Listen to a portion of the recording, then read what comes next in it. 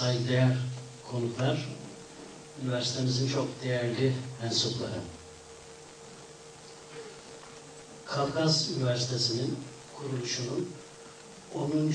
yılı münasebetiyle düzenlemiş olduğumuz programlardan bir yenisinde daha bir araya gelmiş bulunuyoruz. Bu münasebetle bugünkü programa teşrif eden ve bize zaman ayırarak bu programın gerçekleşmesinde YouTube'da bulunan Sayın Büyükelçimiz başta olmak üzere bütün konuklarımıza hoş geldiniz diyor. Hepinizi şahsım ve üniversitem adına saygıyla selamlıyorum. Kafkas Üniversitesi'nin 10. yılı dedik, kuruluşunun 10. yılı dedik bu tür programlarımızda zaman zaman ifade etmiş olduğumuz gibi üniversitemiz bu öğretim yılı içerisinde çok çeşitli etkinlikler, programlar düzenleyerek bu 10. yılı idrak etmiş olacaktır. Bunlar içerisinde Azerbaycan'da her ay bir değerli konuğumuzun verdikleri konferanslar bu programların önemli birini teşkil etmektedir. Bundan önceki programlarımız içerisinde Amerikan Büyükelçisi Sayın Wilson'ın ve bilahare Atatürk Araştırma Merkezi Müdürü'nün verdiği konferansı takiben geçen ayda Prezident aparatı yanında Siyasi ve İçtimai Şube Müdürü Ali Bey'in verdikleri konferans ve nihayet bugün Sayın Büyükelçimizin verecekleri konferans. Bundan sonra da önümüzdeki her ayın son çarşamba günü bu programlarımız yine aynı şekilde devam edecek. Zaman zaman ifade ediyoruz ama bir kere daha ifade etmekten büyük mutluluk duyacağım bir konu da bizim bu programlar içerisinde yer verdiğimiz önemli yer verdiğimiz bir başkası da ulusal ve uluslararası düzeyde düzenlemiş olduğumuz kongreler ve simpozyumlardır. Bunlardan üç tanesini geçen süre içerisinde icra ettik. Önümüzdeki zaman dilimi içerisinde Mart, Nisan ve Mayıs ayları içerisinde de diğerleri gerçekleşecektir. Mayıs ayı içerisinde Azerbaycan ve bu bölgeyi çok yakından ilgilendiren ve bütün insanlık alemini ilgilendiren insanlık terörü dediğimiz bir konferans var. Ve yine gündemde çok önemli olan küreselleşme sürecinde Orta Asya ve Kafkasya adındaki programlarımız da e, yer almış olacaktır. Bugünkü konferansımızda Sayın Büyükelçimiz bize e, Türkiye'nin dış politikasında Avrasya'nın yeri ve önemi konusunu lütfedeceklerdir. Ben Sayın Büyükelçimizi konferansı e, bizlere lütfetmek üzere teşviklerini arz etmeden önce kendileri hakkında kendilerini biraz daha yakından tanımak üzere kısaca bazı biyografik bilgileri sizlere takdim etmek istiyorum. Sayın Büyükelçimiz Boğaziçi Üniversitesi'nin siyasi bilimler ve İngiliz Edebiyatı bölümlerini yani iki ayrı fakülteyi bitirmişlerdir. Ve daha sonra bu akademik hayatı görev sırasında bulundukları Brüksel'de bir master programıyla uluslararası ilişkiler alanındaki çalışmalarıyla devam ettirmişlerdir. kendileri meslek hayatına Türkiye'de Dışişleri Bakanlığı'nda e, başlamışlar 1978 yılında. Daha sonra uzun süreli bir yurt dışı görev süresi, görev dönemi başlamaktadır. 1981'den 1997 yılına kadar devam eden süre içerisinde. Moskova'da, Bergen'de, Sofya ve Brüksel'de Türkiye Büyükelçiliği'nin çeşitli e, idari görevleriyle bulunmuşlardır. Ve NATO'da, Brüksel'de çeşitli kademelerde yine idari görevlerde bulunmuşlardır. 1997 yılında tekrar Türkiye'ye dönerek Dışişleri Bakanlığı'nda daire başkanlığı ve genel müdür yardımcılığı görevlerini de ifa ettikten sonra 2001 yılının Kasım ayından itibaren de Azerbaycan'da Büyükelçimiz olarak görev yapmaktadırlar. Kendileri iki çocuk babası olup ayrıca İngilizce ve e, Fransızca dillerini bilmektedirler. Ben bu bilgilerle de Sayın Büyükelçimizi biraz daha yakından tanıma e, tebliğini de bu şekilde sunduktan sonra kendilerine konferansı vermek üzere teşekkürlerini arz ediyorum. Buyurun efendim.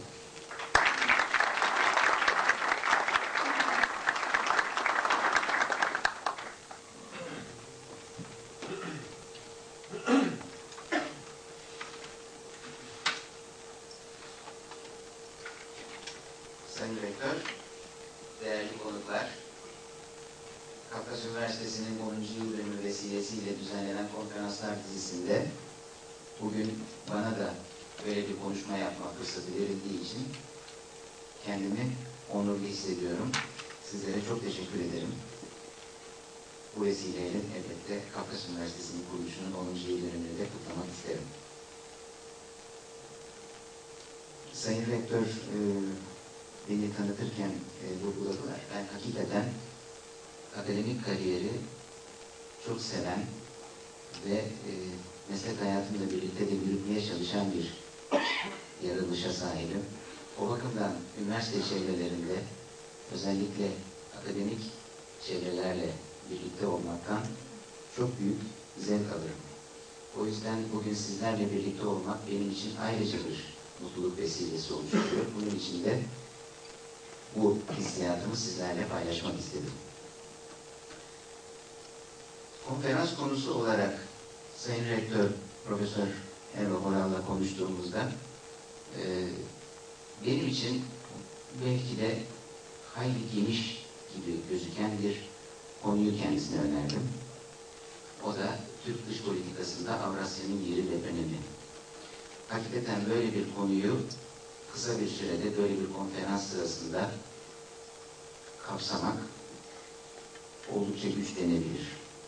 Onun için belki benim size söyleyeceklerim sadece bir iştah açıcı konuşma niteliğinde olacaktır. Elbette bu konuşmadan sonra sizlerin katkılarınız ve sorularla daha fazla açmayı düşüneceğiniz alanlarda benim de yanıtlarımda biraz daha bu konudaki düşünceleri genişleme, genişleme, genişleyecek şekilde irdeleyebiliriz. Metodolojik olarak öncelikle bu konunun başında size Avrasya'nın tanımının yapılmasının gerekli olduğunu düşünerek, düşündüğümü söyleyerek başlamak istiyorum. Zira Avrasya tanımı Türk dış politikasında ve Türk siyasi literatüründe aslında Sovyetler Birliği'nin dağılmasından sonra kullanılmaya başlanmış bir tanımdır. Ancak e, daha önce Sovyetler Birliği döneminde Sovyet politik, politologları tarafından sık sık kullanılan bir kelime olduğu için o zaman kullanılan anlamı ile bugün Türk dış politikasındaki yeri ve önemi diyerekten bahsettiğimiz Avrasya'nın ne olduğunu belki aradaki farklılıkları da vurgulayaraktan ortaya koymakta yarar vardır. Bu da size yapacağım sunuşun metodolojisi açısından önemli diyerekten düşünüyorum. Sovyetler Birliği döneminde Avrasya daha ziyade Sovyetler Birliği gibi geniş bir coğrafyayı kaplayan hem Avrupa'da hem Avrasya hem Asya'da toprakları olan bir ülkenin bu geniş coğrafyasını tanımlamak maksadıyla kullanılırdı. Dolayısıyla aslında Avrasya dendiğinde o zaman kastedilen belki de öz itibariyle sadece Sovyetler Birliği coğrafyasından başka bir şey değildi. Ancak Türkiye'de ve Türk dış politikasında kullanılması biraz önce de ifade ettiğim gibi Sovyetler Birliği'nin dağılmasından sonra başlamıştır. Bunun ya da bu kavramın kurtarım, kullanılmaya başlanmasının sebebi olarak ben belki şunu vurgulamakta fayda var. Her şeyden önce ortaya yeni bağımsızlığını kazanan bir bizim ülke çıkmıştır. Sovyetler Birliği'nin dağılmasıyla birlikte aynı zamanda Balkanlarda da Yugoslavya'nın dağılmasıyla birlikte birçok yeni ülke siyaset sahnesine yeni aktörler olaraktan çıkmışlardır. Bu aktörlerin birçoğu ile Türkiye'nin tarih, kültür ve dil birlikteliği vardır. Dolayısıyla Türkiye bu ülkelerle en ivedi şekilde ilişkilerini kurmak, onlarla olan ilişkilerini canlandırmak, bu tarihi fırsatı bir şekilde hem o ülkelerin bağımsızlık ve egemenliklerini pekiştirmek maksadıyla hem de Türkiye ile onların yakınlaşmalarını sağlamak maksadıyla değerlendirmek düşüncesinde olmuştur. O zamanlar belki hatırlayacaksınız 90'lı yılların başında sık kullanılan bir ifade vardı. Adriyatik'ten Çin denizine kadar diye bir ifade. İşte aslında o kapsamı Adriyatik'ten Çin denizine kadar diyerekten vurgulanan bölgeyi bugün Avrasya diyerekten tanımlamak mümkündür. O zaman şöyle bir şeyle belki vurgulamak ve şunun altını çizmekte yarar var. Bugün Türkiye'nin coğrafi konumuna baktığımızda Türkiye elbette bir Avrupa ülkesidir. Ancak Türkiye aynı zamanda bir Güneydoğu Avrupa'daki Balkanlar denilen coğrafyanın parçasıdır. Elbette Türkiye Karadeniz havzasında önemli bir ülkedir. Türkiye aynı şekilde komşusu olan üç Güney Kafkasya ülkesiyle doğrudan sınır sahibi olması itibariyle bir Kafkasya ülkesidir. Türkiye aynı zamanda bir Orta Doğu ülkesidir. Ve Türkiye bir Akdeniz ülkesidir. İşte bütün bunların hepsini bir araya getirdiğimizde ve dünya haritasına baktığımızda bugün Avrasya olaraktan tanımladığımız bölgenin tam ortasında ve tam kalbinde Türkiye yer almaktadır.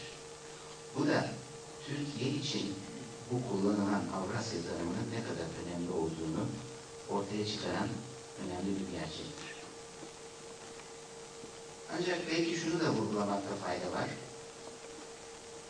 Her ne kadar bütün bu çizmiş olduğum coğrafyayı Avrasya tanımının içine sokmak mümkünse de son yıllarda Türk dış politikasında Avrasya tabiriyle daha çok Kafkasya ve Orta Asya ülkelerinin birlikte oluşturdukları coğrafya anlaşılmaktadır. Ve bu bütünlük bizim literatürümüzde daha çok Avrasya olarak kullanılmakta ve tanımlanmaktadır. İşte bu şekilde baktığımız zaman metodolojik açıdan benim de size bugün konferansımın sınırlarını çizerken kullanacağım kavramın Kafkasya ve Orta Asya ülkelerine yönelik olduğunu ve benim Avrasya ifade ederken, Avrasya kelimesini kullanırken ifade etmek istediğim coğrafyanın bu olduğunu baştan vurgulamak istiyorum.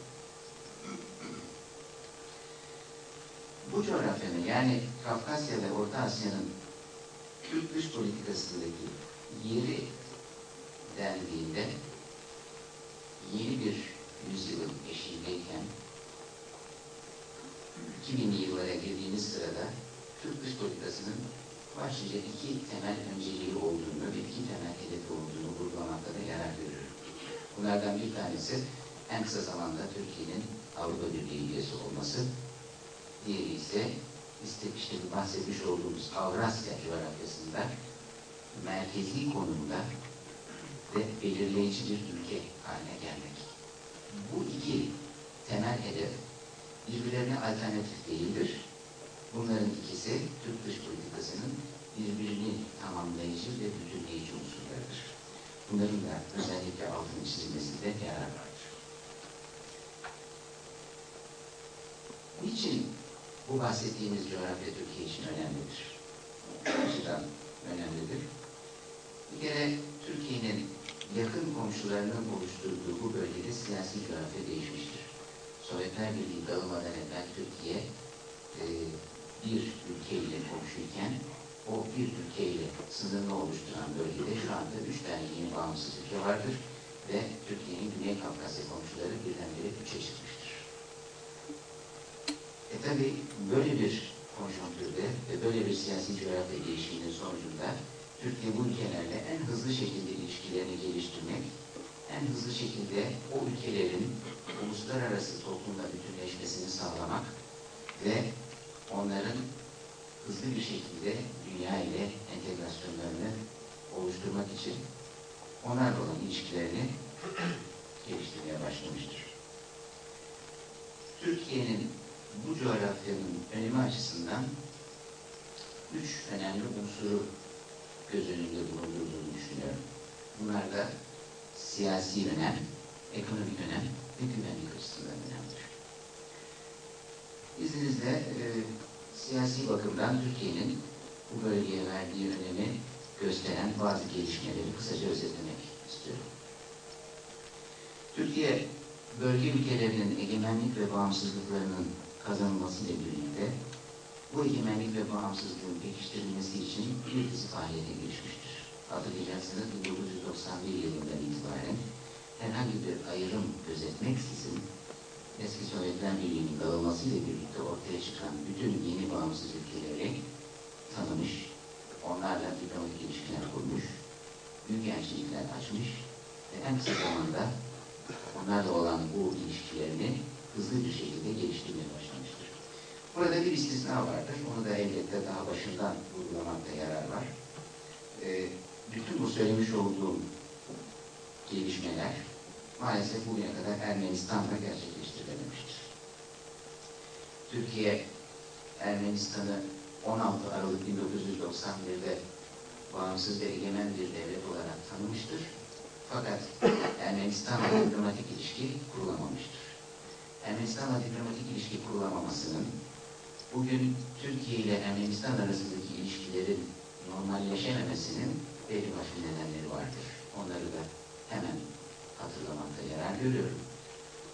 Her şeyden önce Ermenistan bölgede komşularıyla iyi komşuluk ilişkilerini gütmeyi hedefleyen bir ülke görünümü vermemiştir. Türkiye ile olan ilişkilerinde 1921 tarihinden itibaren belirlenmiş olan Türkiye-Ermenistan sınırını bugüne kadar hala tanımamıştır. Türkiye'nin Doğu Anadolu bölgesinde toprak iddialarında bulunmaktadır. Bir de bizim en yakın komşumuz olan ve bizim için fevkalade önemli stratejik bir bölge olan Kafkasya'da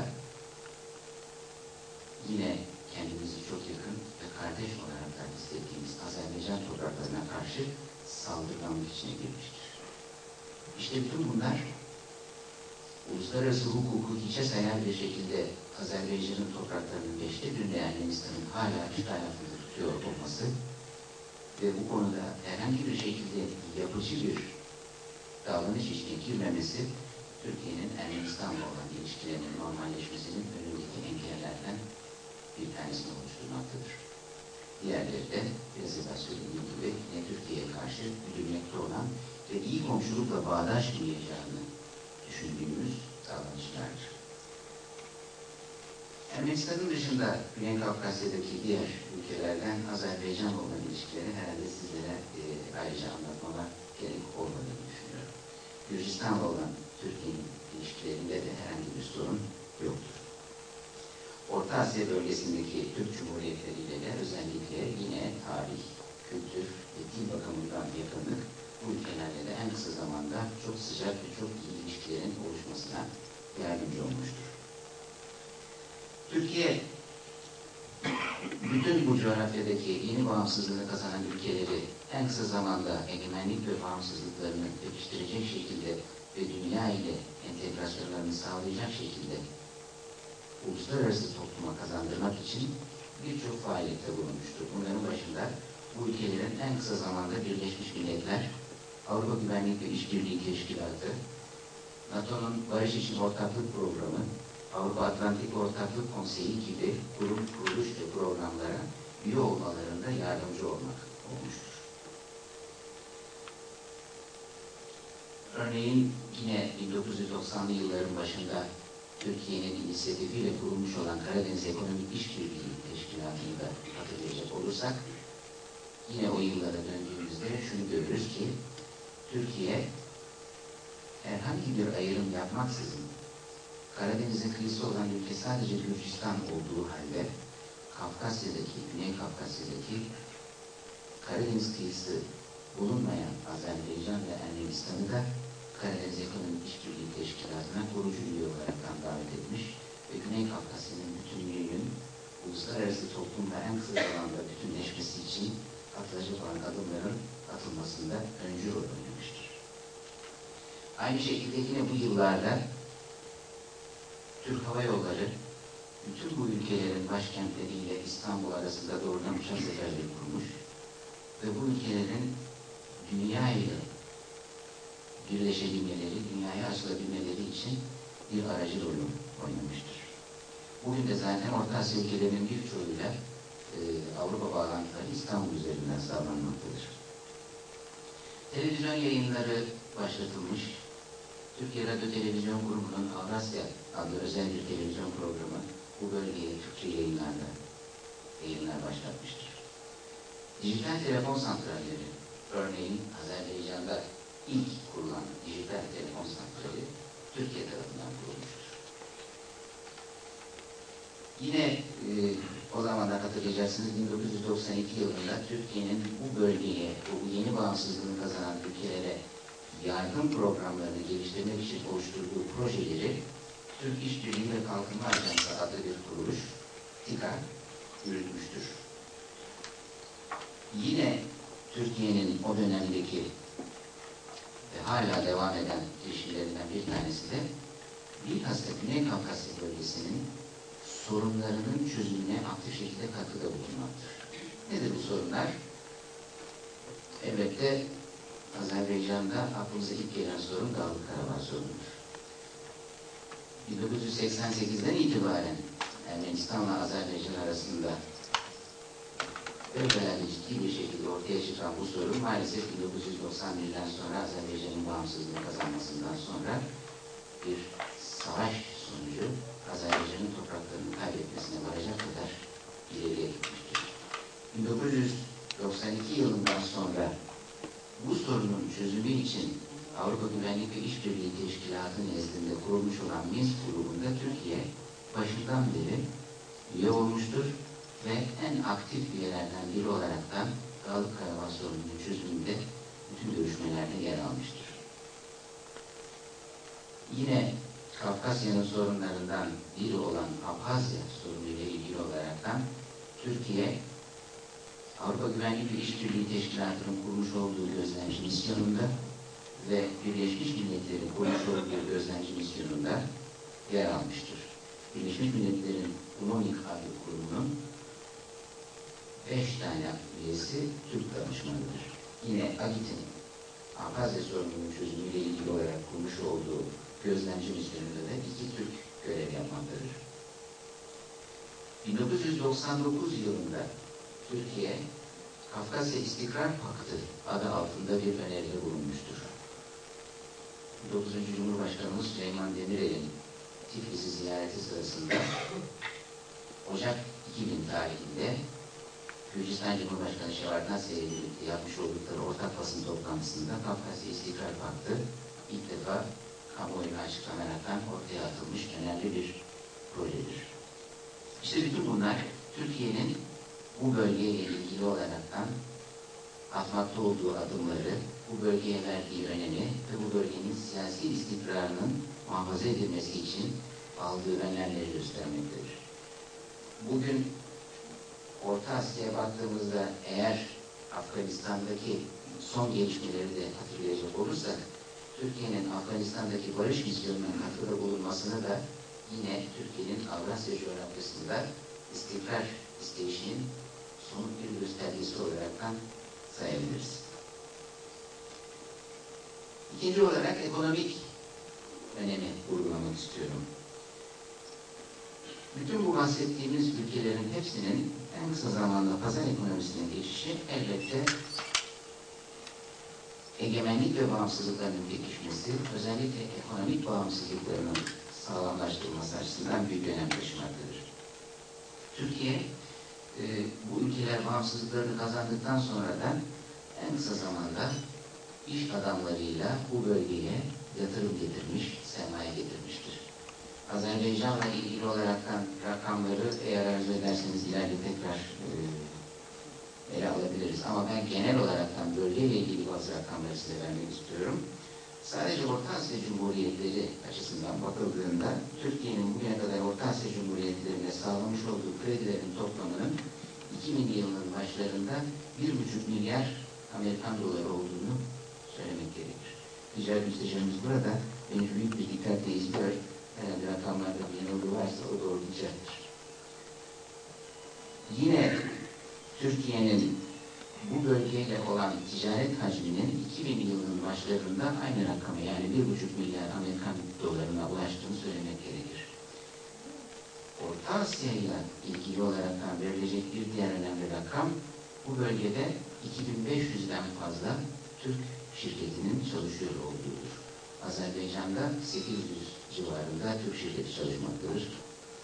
Ama Orta Asya'ya baktığımızda tek tek ülkeler bazında belki Azerbaycan en kalabalık e, Türk iş adamı varlığının olduğu ülkedir. Fakat Orta Asya'da toplam olarak 2500 kadar Türk iş adamı ve Türk iş yeri, şirketi faaliyette bulunmaktadır. Türkiye'nin Orta Asya bölgesinde yapmış olduğu yatırımların miktarı 8,5 milyar dolara geçmiştir. Bu bölgenin bir de ekonomi dendiğinde elbette hiçbir şekilde altını çizmeden geçemeyeceğimiz enerji kaynakları mutlaka hatırlanmalıdır. Hazar Havzası ülkelerinin enerji kaynakları açısından en zengin ülkeler oldukları son zamanlarda yapılan araştırmalar sonucunda ortaya konmuştur. Nitekim Hazar Havzası ülkeleri, başta Azerbaycan, Kazakistan ve Türkmenistan bu doğal gaz ve petrol zenginliklerini yeni yollar aracılığıyla batı pazarlarına en kısa zamanda ulaştırmak için bir takım projeler geliştirmişlerdir. Elbette özellikle Azerbaycan'da asrın kontratı olarak alınan ve 1994 yılından itibaren hayata geçirilmesi için çalışılan Bakü Tiflis Ceyhan ana petrol ihraç boru hattı bu projelerin en başında gelmektedir. Türkiye açısından bakıldığında bu projeler sadece birer enerji projesi olarak görülmemektedir. Çünkü bu bölgedeki ülkelerin enerji zenginliklerinin, doğal gazının ve petrolünün batı pazarlarına en kısa şekilde, en güvenli şekilde ulaştırılması için Türkiye üzerinden geçmesi düşünülen bu boru hatları aynı zamanda Azerbaycan'ın ve Hazar Havzası'ndaki diğer yeni bağımsızlığını kazanan ülkelerin bağımsızlıklarının da birer garantisidir. İşte Doğu-Batı enerji koridorunu ve bu ülkelerin enerji zenginliklerinin batı pazarlarına yeni yollar vasıtasıyla ulaştırılmasını bu ülkelerin bağımsızlığının da en önemli bir unsuru olaraktan görmek gerekir. Türkiye e, bu konuya bu açıdan da bakmaktadır. Elbette enerji dendiğinde Türkiye için bazı rakamları da vurgulamakta fayda vardır. E, çünkü Türkiye bir enerji tüketicisi ve enerji ithalatçısı ülkedir. Türkiye'nin 1999'da enerji ihtiyaçlarının yüzde 65'i ithalatla karşılanmıştır. 2010 yılında bu rakam yüzde 73'e, 2020 yılında da yüzde 78'e çıkacaktır. Dolayısıyla Türkiye dışarıya enerji bağımlı bir ülke olduğu için kendisine en yakın enerji kaynakları bakımından zengin bölge olan Hazar Havzası'nın enerji kaynaklarını iyi şekilde değerlendirdiğini söylemektedir. O yüzden Bakü Tiflis Ceyhan projesi ve o yüzden Azerbaycan'ın Şah Deniz doğal gazının Bakü Tiflis Erzurum boru hattıyla yine Doğu Anadolu'ya getirilmesi Türkiye açısından önem taşımaktadır. Bunlar iki büyük stratejik projedir. Son olarak bir de güvenlik açısından bölgenin Türkiye için önemli vurgulamak istiyorum. Hepinizin bildiği gibi bu bölgedeki ülkeler, başta Azerbaycan, Güney Kafkasya'daki diğer ülkeler ve Orta Asya'daki ülkeler Avrupa Güvenlik ve İşbirliği Teşkilatı'nın üyesidirler. Avrupa Güvenlik ve İşbirliği Teşkilatı dendiği zaman belli bir demokratik değerler ve son yıllarda artık dünya üzerinde hemen hemen herkesin mutabık olduğu bazı prensipler üzerinde mutabakattan söz ediyor. İnsan haklarına saygı, demokratik, layık ve düzenli bir pazar ekonomisine sahip ülkeler dizisi. Bütün bunların hepsine sahip olmak için bu ülkeler çalışırlarken bu değerlere bu ülkelerin verdiği önem kadar önem vermeyen ülkelerle de yakın bir coğrafyada bulunmaktadır. İşte bu bu ülkelerin yani Kafkasya ve Orta Asya ülkelerinin güvenliği açısından önem taşımaktadır. Hele 11 Eylül 2001 tarihinde Amerika Birleşik Devletleri'ne yapılmış olan terörist saldırıdan sonra Kafkasya ve Orta Asya coğrafyası güvenlik açısından bilhassa uluslararası terörizmle mücadele açısından çok önemli bir stratejik konuma kavuşmuştur.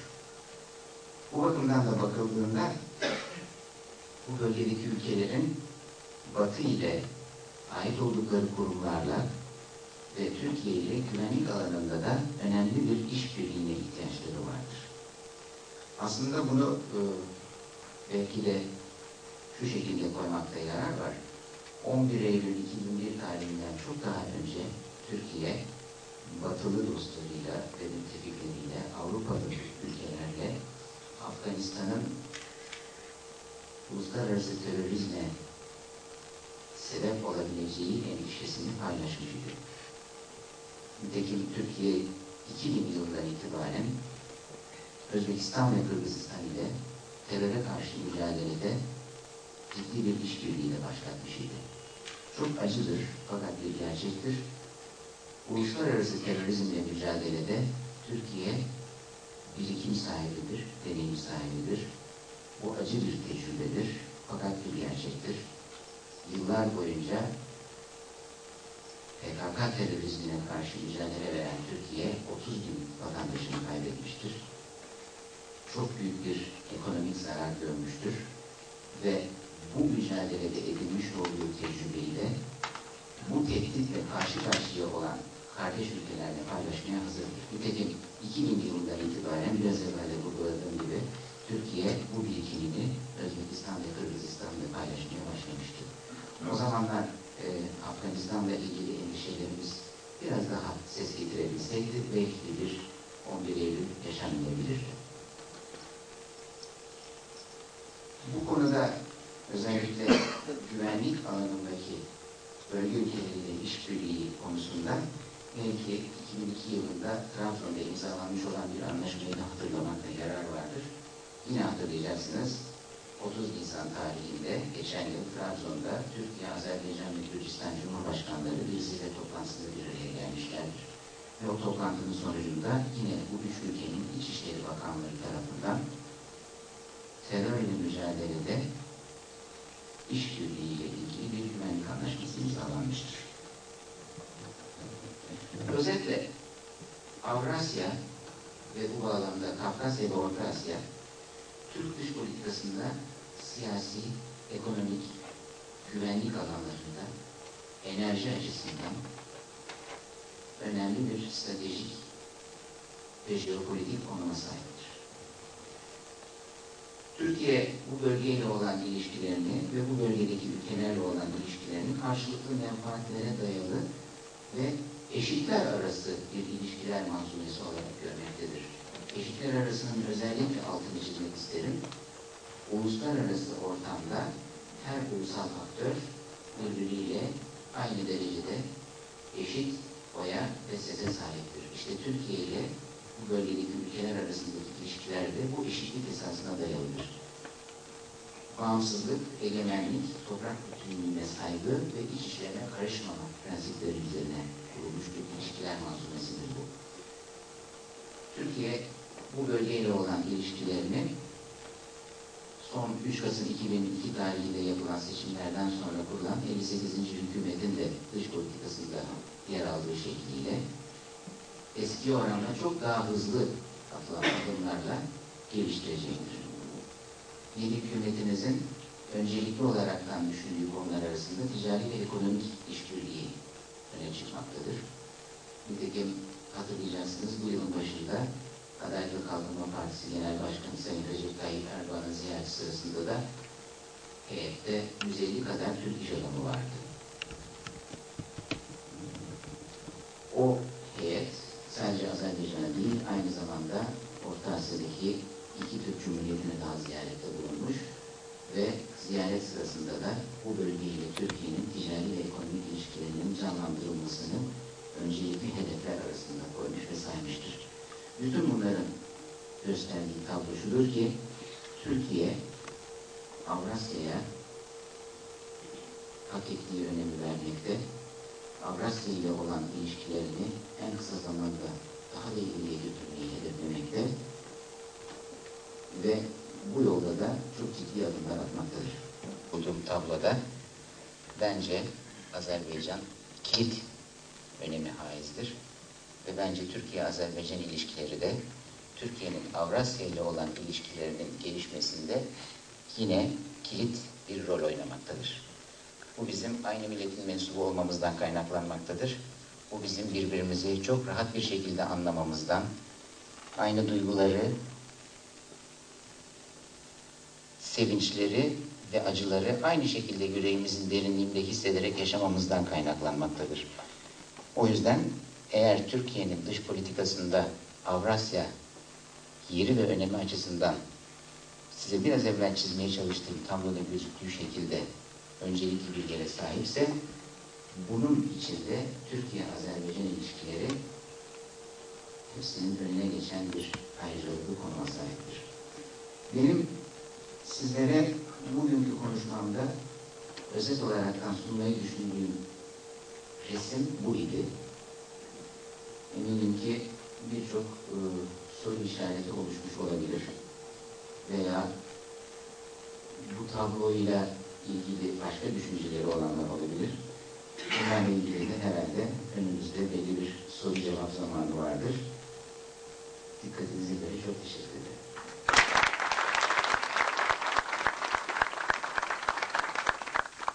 Veya topik boyut hakkında bilgi veriyorsunuz. İkinci sualim de Türkiye'nin Orta Asya ve Kafkasya'da Azerbaycan özelinde e, lobicilik faaliyetleri sizi tatmin ediyor. Teşekkür ederim.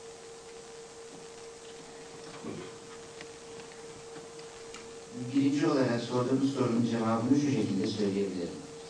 Ee, 1992 yılından itibaren Türk Cumhuriyetleri arasında başlatılmış olan bir zirveler süreci vardır biliyorsunuz. Ee, Türkiye, Azerbaycan, Türkmenistan, Kırgızistan, Kazakistan ve Özbekistan devlet başkanları düzeyinde yedi kez bir araya gelmişlerdir. En son toplantı 2001 yılının Nisan ayında İstanbul'da 7. zirve toplantısı olarak gerçekleşmiş idi. Şimdi bu toplantılarda bu ülkeler arasında aynı zamanda bir ekonomik işbirliği geliştirilmesi de gündemde tartışılmaktadır. Ancak e, Avrupa Birliği benzeri bir model şimdiye kadar öne çıkmamıştır. Bununla beraber Orta Asya ülkelerinin kendi aralarında oluşturmuş oldukları bir Orta Asya ekonomik bölgesi vardır. Bu daha ziyade Türkmenistan'ın katılmadığı bildiğim kadarıyla Özbekistan, Kırgızistan ve Kazakistan arasında başlayan Taşikistan'ın da bir ölçüde e, katıldığı bir e, ekonomik işbirliği modelidir. Buna benzer başka girişimler de vardır. Yani Orta Asya coğrafyasında ekonomik işbirliği için atılmış bazı adımlar, bazı girişimler vardır. Avrupa Birliği ile mukayese etmek bence doğru değil. Ama Türk Cumhuriyetleri arasında ekonomik işbirliğinin geliştirilmesi için bazı girişimler olduğunu söylemek mümkün. Avrupa Birliği'nin tarihine indiğiniz zaman çok farklı bir yapısı olduğunu, aslında Avrupa Birliği'nin Avrupa'nın tarihi boyunca Fransa ile Almanya arasındaki e, savaşların bir daha tekerrür etmemesi için başlatılmış bir girişim olduğunu görürsünüz. E, bu coğrafyada öyle bir şey yok. Ayrıca Avrupa Birliği bir kömür ve çelik birliği temeli üzerine dayandırılmıştır. O yüzden böyle bir benzetme e, biraz güç. E, ütopik olduğunu e, söyleyenler var mıdır bilmiyorum. E, ancak dediğim gibi Türk Cumhuriyetleri arasında ekonomik işbirliğini geliştirme çalışmalar yapılmaktadır. E, ikinci sorunuzu tam kavrayamadım. E, Türkiye'nin Azerbaycan'da lobicilik faaliyeti derken neyi kastediyorsunuz? Hani biraz açabilir misiniz? Efendim yani e, iş var, hizmet sektöründe olanlar var. E, ancak resmi boyutuyla meclisler var. Bunlar arasındaki işbirliği ve ne kadar kardeşlik olmasına rağmen farklı bir ülkede e, işçiler arasında meclis tabi ettiniz. Neticede burada Türkiye'yi temsil noktasında bir lobicilik boyutuyla ki daha önce de Milli Güvenlik Kurulu'nda alınan kararlar arasında e, Türkiye dışındaki Türklerin e, bir çatı altında birleştirilmesi noktasında lobicilik faaliyetlerinin ağırlık verilmesiyle alakalı bir karar alınmıştır. Acaba bunun ortasındaki yansıması sizi tatmin ediyor mu? Şimdi lobicilik faaliyeti derken tabii akla daha ziyade Amerika'daki lobicilik faaliyetleri geliyor. Öyle bir örnekten hareket edecek olursanız aynı dil konuştuğumuz ülkelerde böyle bir lobicilik faaliyetine ihtiyaç yok. Ee, Amerika'da çeşitli e, milletlerin, e, Ermenilerin olsun, Yahudilerin olsun, e, Rumların olsun lobicilik faaliyetlerinden söz edilir. Ve lobicilik derken de hep gruplar akla gelir. Özellikle de bunların Amerika'daki kongredeki veya Avrupa'daki faaliyetleri akla gelir. Ee, Azerbaycan'da aynı dil konuştuğumuz ve kardeş e, olduğumuz bir millette e, bizim herhangi bir şekilde aleyhimize olan bir gelişmeyi lehimize çevirmek maksadıyla bir lobicilik faaliyetine ihtiyacımız yok. Ama e, burada mevcut esnaf kuruluşları, iş adamlarımız, öğrenci derneklerimiz, e, kültürel faaliyetlerimiz vardır. Bütün bunların hepsini e, alt alta koyduğumuzda örneğin e, iki tane iş adamları derneğimiz vardır. Bunlar e, iş adamlarımızı yeterince temsil etmektedirler. Birbirleriyle aralarında gayet güzel bir eşgüdüm vardır. Azerbaycan hükümetiyle, devlet kurumlarıyla bu iş adamları derneklerinin sık sık istişari toplantıları olmaktadır ve Türk iş adamlarının karşılaştıkları sorunları o düzeyde dile getirmektedirler. Bir de yurt dışında yaşayan Türklerin bir araya getirildikleri bir camia diyerekten düşündüğümüz zaman ben karşınızdayım. Türkiye Büyükelçiliği burada. Herhalde başka bir yeri düşünmek doğru değil. bu sual. Demək, ə, bilirsiniz ki, İlham Əliyev ə, Avropa Şurasının Parlament Assambleyasının vitse-prezidenti seçilib. Sizcə hansı məsələlərin həllində dəyişiklik olacaq, yəni gözlənilir? İkinci bir sualım, ə, Erdoğan Bakıya səfər edəndə demişdi ki, burada mədəniyyət adı ilə bir çox ə, fəaliyyət göstərir. Bununla bağlı hansı araşdırmalar aparılıb və son olaraq Bir, Irak. ikinci, ikinci sorunuzu bir daha söyler misiniz? PKK, ilə PKK fəaliyyəti yəni Azərbaycanda bir sıra mədəniyyət təşkilatlarının adı altında həyata keçirilir. Yəni buna cənab Erdoğan demişdi Bakıya səfər edərkən son səfər ərəfəsində. Bununla bağlı hansı araşdırmalar, yəni hansı nəticələr varmı? Xahiş edirik. Və son olaraq İraq məsələsini. Yəni bu gündəmin ən aktual problemlərindən biridir. Irak meselesi deyip de koskoca bir tartışma konusu açmayınız. Yani Irak'ın nesiyle ilgili soru soruyorsunuz? Ee, yəni savaş olacaqmı? Müharibə? Təşəkkür edirəm. Azerbaycan için fevkalade önemli ve olumlu bir gelişme olaraktan görüyorum. Bu vesileyle de bu soruyu sordunuz. Ee, Sayın İlham Aliyev'i e, şahslarına kutlamak isterim. Ee, Avrupa Konseyi'ne Azerbaycan 2001 yılında üye olmuştur. Ve kısa zamanda Avrupa Konseyi'nde Azerbaycan kendi meselelerini gündeme getirebilme imkanına sahip olmuştur. Zannediyorum e, Azerbaycan e, Avrupa Konseyi nezdindeki Azerbaycan parlamenter heyetinin başkanı olan Sayın İlham Aliyev'in şimdi bir de Avrupa Konseyi Parlamenter Meclisi'nin başkan yardımcısı sıfatına sahip olması Avrupa Konseyi'nde daha itibar gören ve daha sayılan bir ülke konumuna çıkmasına yardımcı olacaktır. Ee, Sayın Recep Tayyip Erdoğan'ın ziyareti sırasındaki ifadeleriyle ilgili olaraktan Azerbaycan basınında e, çok uzun bir zamandan beri e, çeşitli yazılar var. Onları ben de izliyorum. E, Sayın Recep Tayyip Erdoğan'ın ne söylediğini sizler biliyorsunuz. Bunu tekrarlamaya gerek yok. Bununla ilgili olaraktan Sayın Recep Tayyip Erdoğan'ın böyle duyumlar olabilir, böyle şeyler de olabilir. Bu konudaki düşüncelerini de size iletmek istiyorum diye bir ifadesi olmuştu. Bence bunun daha fazla uzatılmasına gerek yoktur. Neden gerek yoktur? İsterseniz onu kısaca söyleyeyim. PKK ve yeni adıyla KADEK bütün dünya üzerinde bilindiği gibi uluslararası bir terörist örgüttür. Bu örgütün faaliyetleri son yıllarda özellikle elebaşı Abdullah Öcalan'ın yakalanmasından sonra durmuştur. Ancak bu tür örgütler faaliyetlerini sürdüremedikleri zaman propaganda yapmak isterler. İşte maalesef Azerbaycan basınında bu kadar öne çıkartılması da o propaganda amacına yardımcı olmaktadır. Onun için e, bu propagandanın durması elbette bu örgütün işine yaramayacaktır. Bence Azerbaycan basını bu konuyu bir de bu açıdan değerlendirmelidir. Irak konusuna gelince Irak'ta savaş çıkıp çıkmayacağını benim bilmeme imkan yok. Ancak ben size Irak'la ilgili olaraktan Türkiye'nin politikasını isterseniz kısaca özetleyeyim. Türkiye, Irak'ın toprak bütünlüğüne, Irak'ın siyasi birliğine büyük önem vermektedir. Irak'ta bizim kendimize yakın ve kardeş olarak bildiğimiz Türkmenler yaşamaktadır. Irak'ta Türkmenlerin de haklarının mutlaka bir şekilde gözetilmesi gerekmektedir. Irak'ta herhangi bir şekilde eğer bir müdahale olacaksa o müdahaleden sonra bugünkü yapının bozulmaması, Irak'ın siyasi birliğinin ve toprak bütünlüğünün aynı şekilde muhafaza edilmesi çok büyük önem taşımaktadır. Türkiye açısından da önem taşımaktadır. Böyle bir muhafaza olmadığı takdirde bu Türkiye'yi çok ciddi bir şekilde rahatsız edecektir. Ve Türkiye de Irak'la ilgili gelişmeleri bu boyutuyla çok yakından ciddi olarak izlemektedir. Ee, biliyorsunuz geçtiğimiz hafta 23 Ocak tarihinde Başbakanımızın girişimiyle Suriye, İran, Mısır, Ürdün ve Suudi Arabistan Dışişleri Bakanlarının da katılımıyla İstanbul'da bir Dışişleri Bakanları toplantısı yapılmıştır.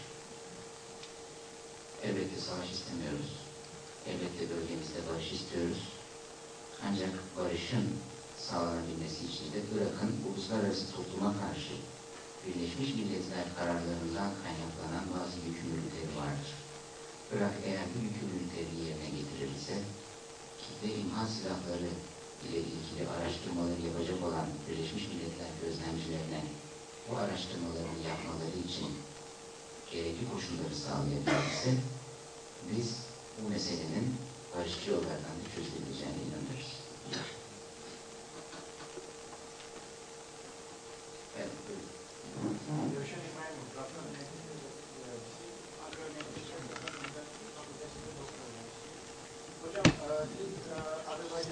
e, Bakıcıyken bunların e, bu çalışmalarından birisidir. Fakat daha önce planlaşmış da şu anda unutulmuş olan e, Kars, Tiflis, Bakü e, demir yolu projeleri, aynı zamanda Trasika'nın Güney Koridoru olan bazı layihelerin konusunda ne gibi çalışmalar şu anda yapılmaktadır veya bu yeniden e, gündeme gelecek mi? Teşekkür ederim. E, TRASEKA'nın zaten e, sekreteryası biliyorsunuz Bakü'dedir. E, TRASEKA ile ilgili çalışmalar sürmektedir. Projeler e, benim gördüğüm kadarıyla Avrupa Birliği'nin de yakından uzmanlarının takip etmesiyle e, devam ettirilmektedir. Bu bir finansman e, konusunda e, önem taşıyan bir e, projedir. Zannediyorum e, Avrupa Birliği Raseka projelerinin finansmanı ile ilgili kararı aldıktan sonra ve bölgede barış sağlandıktan sonra onun özellikle altını çizmek isterim. Çünkü bu bölgedeki e, bu tür altyapı faaliyetlerinin ve işbirliğinin gelişmesi için her şeyden önce Ermenistan'ın Azerbaycan topraklarını işgal etmesi, işgaline son vermesi gerekir. Çünkü e, Azerbaycan haklı olaraktan e, bu sorun çözülmediği müddetçe Ermenistan'ın da içinde bulunduğu bir işbirliği projesinde yer almak istememektedir. E, karstik listinin yoluyla ilgili olarak e, sormuş olduğunuz soruya gelince bu projede e, zannediyorum e, hem Gürcistan ile Türkiye arasında hem de bu konuya ve bu projeye ilgi duyan e, bazı üçüncü ülkeler tarafından e, ciddi bir şekilde incelenmektedir. E, bu projenin de e, hangi yüksek bir maliyeti vardır. E, onunla ilgili de finansman temeli çalışmaları sürdürülmektedir. Aşağı yukarı 123 kilometre uzunluğunda bir demir yolu projesidir. Bunun 92 kilometresi Türkiye sınırları içindedir. Kalan kısmı Gürcistan sınırları içindedir. E, bu projeyle ilgili olarak çalışmalar biraz yavaş da olsa sürmektedir. Buyurunuz. çıxış edirsiniz. Türkiyənin bu Avrasiya siyasəti bu həqiqətən də e, bizim hamımıza aid olan bu coğrafiyada olan insanlara aiddir və ölkələrə aiddir. Mən e, bir məsələyə diqqəti xüsusi olaraq cəlb eləmək istəyirəm ki, e, demək ki, çox qütüblü bu dünya dağıldıqdan sonra, yəni ki, bu çox qütüblü, yəni iki, iki əsas qütbü var idi dünyanın, sosializm sistemi və bir də ki, batı ölkələri. O e, bu iki qütb dağılandan sonra əslində çox qütblü dünya yaranmışdır. E, bu qütblərin birində e, Çin dayanır, digərində demək ki, Yaponiya durur, e, ABD və e, Avropa e, Birliyi ölkələri. Hal-hazırda Rusiya böyük axtarışlar içərisindədir və bu e, dörd qütbdə öz yerini axtarmağa çalışır. Çinlə yaxınlaşmağa Rusiya qorxur. Çünki o Çinin içərisində əriyəcəyindən qorxur Rusiya. E, Yaponiya ilə e, Çinin e, əlaqələri onlar da o qədər də normal vəziyyətdə deyil. Hə? Ayak ustadım. Hə. Demək, e, burada əsas e, məsələlərdən birisi kimi mən e, dəyərləndirmək istəyirəm e, Sayın Ərdoğanın e, bu dünyanın qütblərinə olan səyahətlərini. Yəni onun o dövlət və hökumət başçıları ilə görüşləri, bunlar da e, Türkiyənin ümumiyyətlə e, istiqamətlərinin müəyyənləşməsində məncə çox önəmli rollar oynaya bilər. Və bu çox iyi dəyərləndirilməlidir. Eyni zamanda e, mənə elə gəlir ki, Türkiyə e, bir dövlət olaraq və eyni zamanda Avrasiyanın böyük dövlətləri alternativlərdilər. Və Türkiyə bir dövlət, böyük bir dövlət olaraq insan nüfuzuna görə, ərazisinə görə, öz coğrafi vəziyyətinə görə belə alternativ qurumları Türkiyənin yaratmaq iqtidarı var. Türkiyənin belə bir gücü var. Və inşallah ki, Türkiyə mənim fikrimcə və eyni zamanda Türkiyənin e, indiki e, iqtidarı da, yəni 58-ci hökumətdir, e, bu e, belə bir çabalarda olur və böyük çalışmalar yapır ki, İslam aləmi ilə Hristiyan aləminin arasında bir model olsun. Digər tərəfdən Avropa Birliği Türkiyəni üyəliyə qəbul etmir və hətta ona tarif verilir. Halbuki Kıbrıs'ın Hakikaten e, Sayın Recep Tayyip Erdoğan'ın ziyaretleriyle ilgili olarak önemli bir konuyu yakalamışsınız. E, o ziyaretler sizin de söylediğiniz gibi Türkiye'nin öncelikleri itibariyle ilk Avrupa Birliği ülkesi üyesi ülkelerden başladı. Sonra Amerika Birleşik Devletleri'ne gidildi. Ardından Rusya Federasyonu ziyaret edildi. Ondan sonra Türk dünyası ziyaret edildi ve burada önce ziyaret Azerbaycan'dan başladı. Sonra da yine Asya'nın büyük devletlerinden biri olan Çin'e bir ziyaret yapıldı. Aslında bunlar 58. hükümetin bütün dünya ile barış içinde ve Türkiye'nin de bu dünya üzerinde barış faaliyetlerine katkıda bulunabilecek büyük bir aktör olduğunu göstermek maksadıyla yapılan ziyaretlerdir. Ee, alternatif konusunda ise sizinle aynı kanıda değilim. Neden değilim onu da söyleyeyim.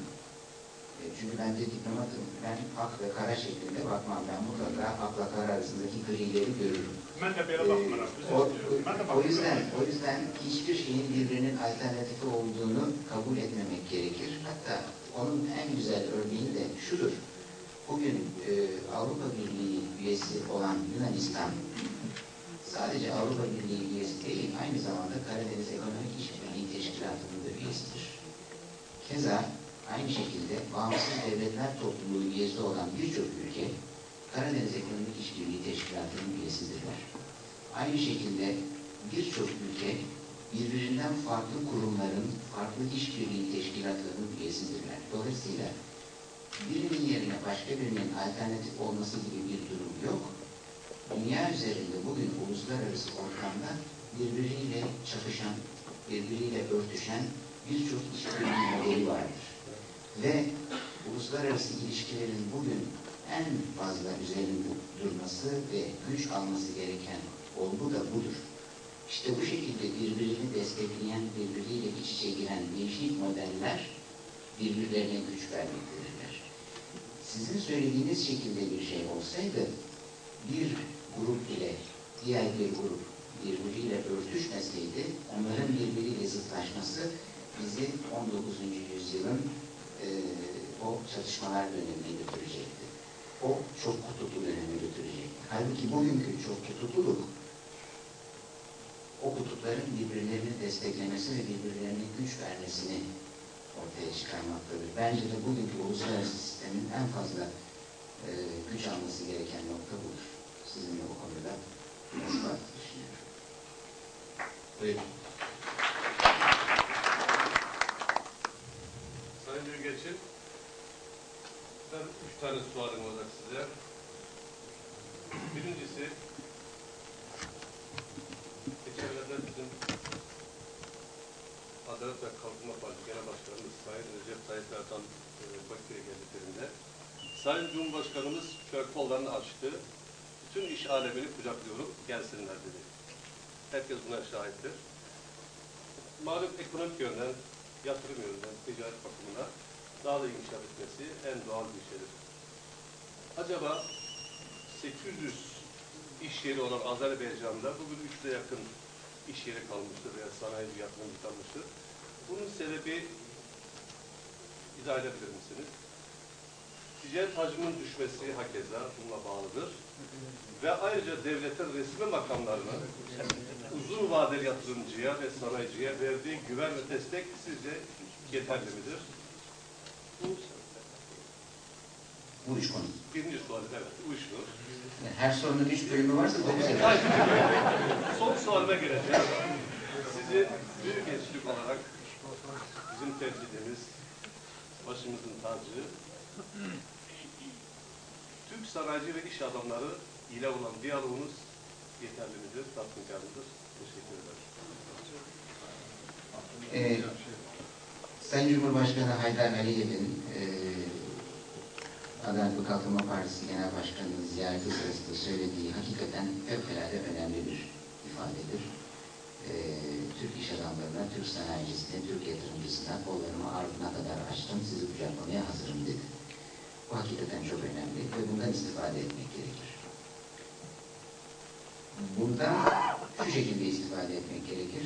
Elbette öncelikle Azerbaycan'da yabancı sermayeye ve yatırımcıya teşviklerin ve burada bu yatırımların cezbedilmesi için elverişli ortamın oluşması gerekir. Bunların hepsi sizin sorduğunuz şekilde birbirine bağlı sorular. Bu ortam var mıdır? Bence bu ortam oluşmaktadır. Bilhassa 2002 yılında siz de o toplantıda vardınız hatırlıyorum. 14 Mayıs tarihinde zannediyorum. Sayın Cumhurbaşkanı yabancı iş adamlarıyla yapmış olduğu toplantıda bütün şikayetleri dinledi ve o şikayetleri dinledikten sonra yapmış olduğu bir değerlendirmeyle de Azerbaycan hükümet mensuplarına gerekli talimatları verdi. Birçok kanunlar çıktı, birçok talimatlar imzalandı. Yatırımların teşviki, yabancı sermayenin Azerbaycan'a getirilmesinin sağlanması için bir dizi önlemler alındı. Bunlar yeterli midir? Bunlar daha arttırılabilir mi? Bu ayrıca tartışılabilir. Ancak e, Azerbaycan'ın e, özellikle ekonomisinin çeşitlendirilmesi gerektiğini hem Sayın Cumhurbaşkanı hem de Azerbaycan'daki diğer hükümet yetkilileri sık sık dile getirmektedirler. İşte bu ülkede ekonominin çeşitlendirilmesi değişik sektörlere yeni yeni yatırımlar yapılmasıyla ve orada da ekonomik faaliyetin canlandırılmasıyla gerçekleşir. Şimdi bu önemli bir misyondur. Bence bu misyonda Türk iş adamının, Türk yatırımcısının, Türk sanayicisinin yeri, yerini alması gerekir. 800 tane iş yeri kalmadı. Çok daha fazla idi.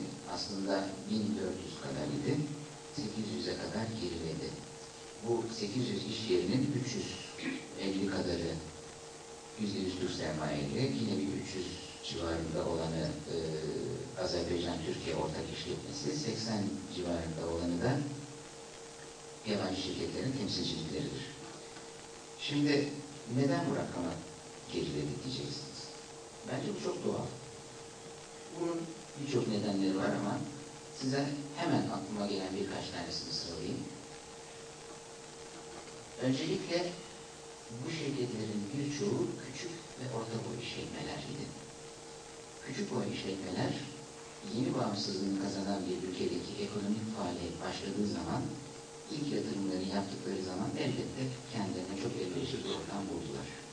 Ancak zamanla Azerbaycan'ın ticaret erbabı da yetişmeye başladı. Dolayısıyla Azerbaycan ve küçük işletmeci Türk yatırımcılar arasında bir rekabet ortamı oluştu. İşte bu rekabet ortamında kendine uygun çalışma koşullarını bulamayan Türk iş adamları artık yavaş yavaş Azerbaycan'dan başka yerlere yatırımlarını yönlendirmeye. Birinci sebep bu olabilir. İkinci olaraktan son yıllarda Türkiye ile Azerbaycan arasında ticari ilişkilerde bir gerileme ve ticaret hacminde bir azalma var. Bunun nedenlerini de ben şu şekilde açıklıyorum. 1998'den itibaren e, dünya üzerinde görülen ekonomik durgunluk ve özellikle Rusya Federasyonu'nun yaşamış olduğu kriz bu bölgeye de elbette etkisini yaptı. Türkiye'ye de etkisini yaptı. Ama ondan da önemlisi Türkiye 1999 yılında iki büyük deprem geçirdi. E, bu depremler Türkiye'nin aşağı yukarı sanayisinin e, önemli ölçüde zarar görmesine yol açtı. Çünkü Marmara depremi biliyorsunuz 17 bin e, vatandaşımızın hayatını kaybetmesiyle sonuçlanmasının yanı sıra ekonomimize de büyük bir darbe verdi. Çünkü Türkiye'nin sanayi bölgesine yapılmış bir darbe oldu. Ve o üretimi düşürdü. Türkiye'de maalesef yatırımları birdenbire dondurdu ve ekonomiyi çok ciddi bir şekilde sarsıntıya soktu. Onun ardından işte bu bahsetmiş olduğum dünyadaki genel ekonomik tablo, Türkiye'de o iki depremin yaratmış olduğu etki ve Türkiye'nin içinde bulunduğu yapısal değişimin vermiş olduğu bazı sıkıntılar 2001 ve 2001, 2000 ve 2001 yıllarında hatta 2002'nin de e, belli bir döneminde sadece dışarıya değil, Türkiye'nin kendi içinde de yatırımların yapılmasını engelledi. Ekonomik aktivite, ekonomik faaliyet Türkiye'de de fevkalade düştü. Ekonomi küçülmeye başladı. Türkiye'nin e, 90'lı yıllarda hatta 80'li yılların sonundan itibaren yıllık büyümeye e, yüzde altı oranında gibi bir alışkanlığı vardı. Ama bu bahsettiğim dönemde Türk ekonomisi değil büyüme maalesef yüzde altı, yüzde sekiz oranında küçülmeye tabi kalmıştır. İşte bunların doğal bir sonucudur ki Türk iş adamı da sadece kendi ülkesinde yatırım yapamamakla kalmadı, dışarıya da açılmaktan vazgeçti. Bütün bunlar Türkiye-Azerbaycan arasındaki ekonomik ticari ilişkilerin biraz gerilemesine yol açtı. Bu durum değişecek. Çünkü e, yeni hükümetin e, çok ciddi bir ekonomik e, programı vardır. Bunun hayata geçmesiyle birlikte hem Türkiye'de ekonomi canlanacak hem de yatırımcı Azerbaycan'daki şartların da olgunlaşmasıyla buraya yatırımlarını yönlendirecek. Türk iş adamlarıyla benim diyalogum yeterli midir? Bunu siz takdir edeceksiniz. Eğer yeterli olmadığını düşünüyorsanız nasıl daha geliştirmenin imkanları bulunabilir onu beraberce araştırdık. Buyurun. Çok hörmətli böyük elçi, sizə geniş verildiyə görə minnətdarlıq edirəm. Mən Azərbaycan Dövlət Neft Akademiyasının pasiyentiyim. Siz qısa bir müddət ərzində çox e, iş ilə bağlı çox problemlər ortaladınız. Mən bir uzun müddət təhsil sahəsində çalışan bir şəxs kimi mən deyərdim ki, bunların hamısının əsasını təhsil təşkil edir. Bugün 10 ilini qeyd etdiyimiz Qafqaz Universiteti haqqında bizim təhsil nazirimiz Hüsnü Ərbalov belə qiymət vermişdir ki, bugün Azərbaycanda fəaliyyət göstərən təhsil müəssisələri içərisində ən saf, ən şəffaf, ən dünya standartlarına cavab verən təhsil buradadır. Fəqət bu təkcə Azərbaycan üçün çox azdır. Bu sahədə Türkiyənin dövlətinin siyasətində daha da genişlənmə nəzərdə tutulurmu? Yəni bu bizim üçün çox azdır. Çünki bütün problemlərimizin əsası təhsillə bağlıdır. Təhsil olmadan sizin saydığınızın heç birinin öhdəsindən gələ bilməz. Çox sağ olun. Ee, zannediyorum önümüzdeki hafta e, Azerbaycan Milli Eğitim Bakan, Azerbaycan Eğitim Bakanlığı'ndan bir heyet Türkiye'ye gidecek. Türkiye ile Azerbaycan arasında bir eğitim komisyonu vardır. İki Milli Eğitim Bakanlıkları arasında oluşturulmuş bir komisyondur. Bu komisyon e, uzun zamandan beri toplanamıyordu. E, geçen sene biliyorsunuz Türkiye'de seçim yılıydı. Onun da biraz bunda e, rolü oldu.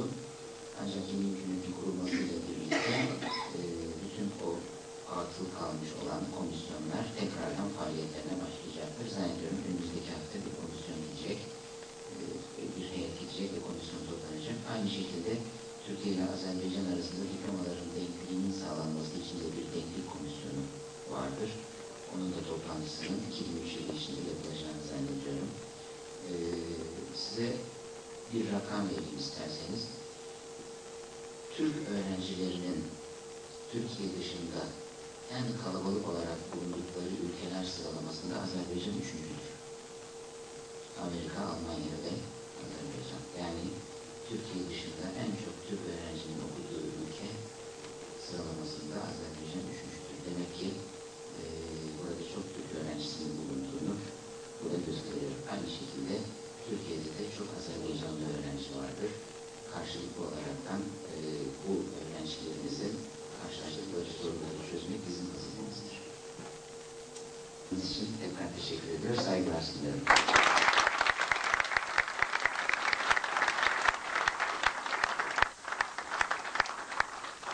Efendim ben e, Kafkas Üniversitesi olarak bugün onurlu gurur hissi geçirdiğimiz bir gün yaşadığımızı ifade etmek istiyorum.